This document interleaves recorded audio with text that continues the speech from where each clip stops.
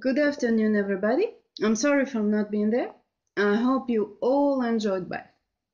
My intervention is entitled Artivism and Interculturality, Djerbahood Aesthetic and Reception. It's my first one in English, so please pardon my accent. Uh, I'll first try to define artivism. Artivism is a new concept created by Lemoine and Ouardi in 2011, uh, 2010. Excuse me. It's a dissenting, oppositional, and counter-hegemonic micropolitic in Tunisia, artivism can be linked to urban spaces. Uh, it first started in 2007 with Dream City, which was um, urban, an urban exploration of the urban space in the, in the capital, in the old uh, city of La Medina. Uh, it opened the way to new artistic experiences and helped Tunisian citizens to use their right to occupy the city space. But what's, especially what's Djerbahood?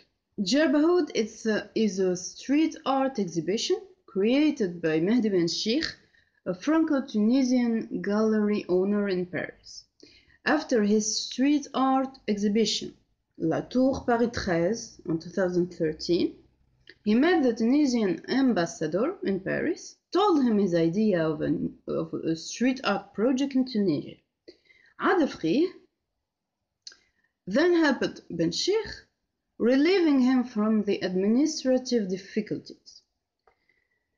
Before 2011, uh,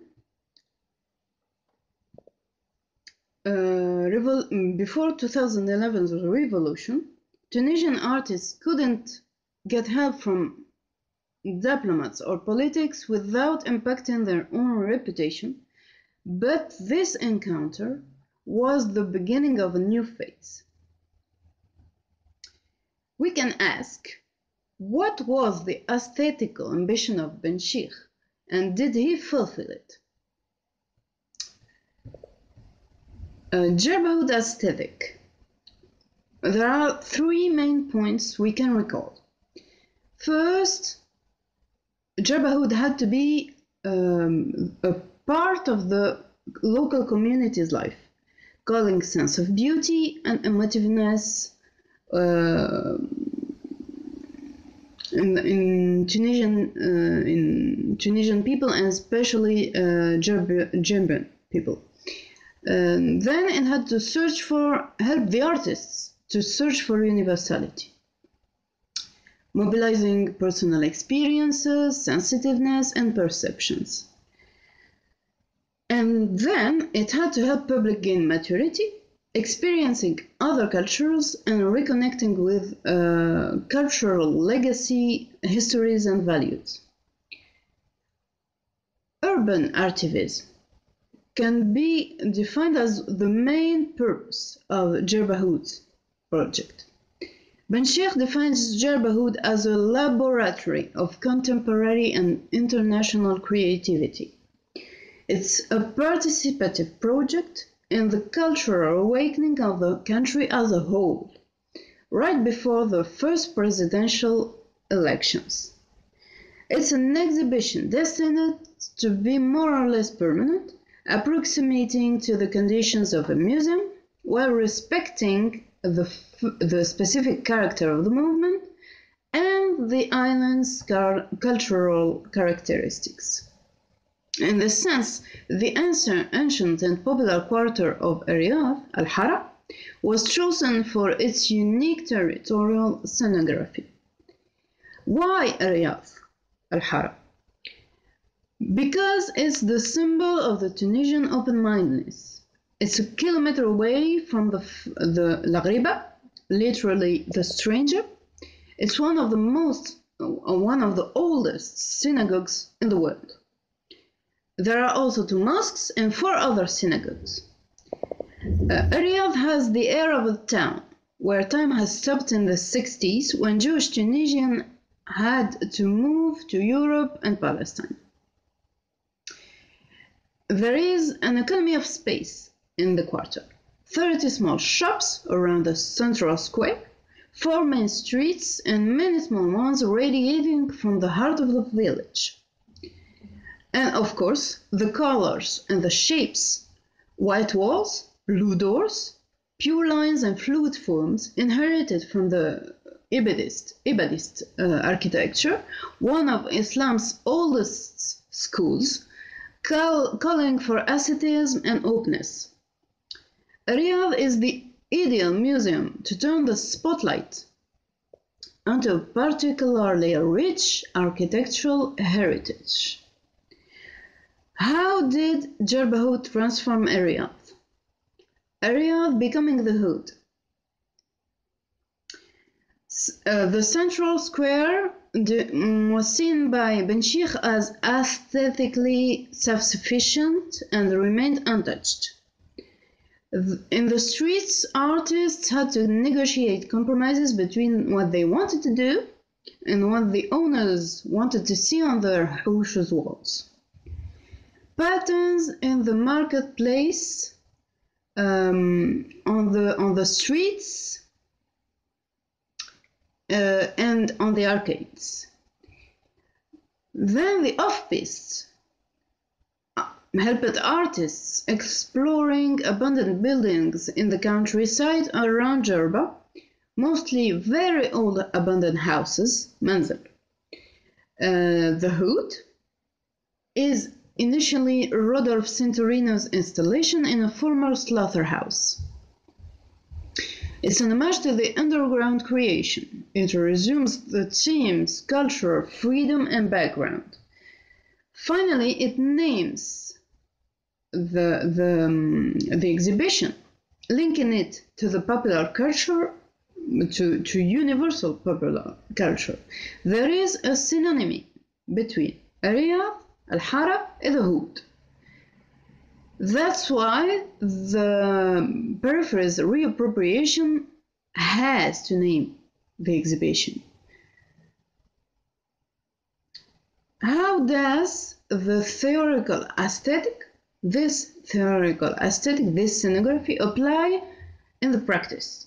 What are the main lines actually emerging from the practical project? We'll try to draw two graffiti's general categories.